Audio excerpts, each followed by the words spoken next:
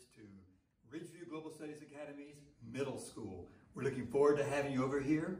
And I know I get excited because I can look outside my window and see as you're changing classes. And it makes me happy when I see my boys and girls smiling and being happy themselves. Yeah, and this is going to be great to see you guys over here. Having watched you guys, a lot of you grow up from kindergarten all the way through fifth grade. You're going to have some awesome teachers over here and you get a gym. So you're going to be excited and we're excited to see you coming over. So have a great time, guys.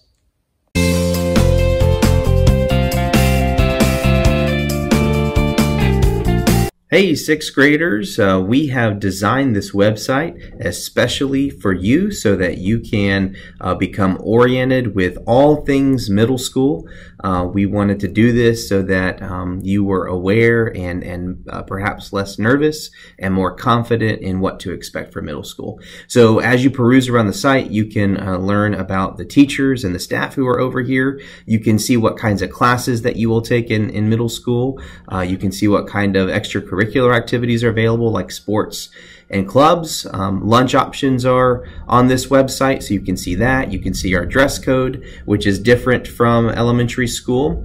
Uh, you can also tour our campus. We were not able to do that, of course, in person, so uh, there is a video tour where you get to see the, the buildings and uh, inside our middle school campus. And last but not least, in fact, probably most important of all, you can see your elective class choices. So every sixth grade student will have one elective class that you can take.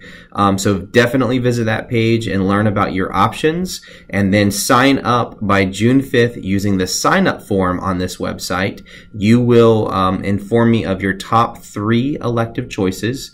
Uh, that's top three in order of preference, even though you just get one. So uh, happy navigating and reach out if you need anything.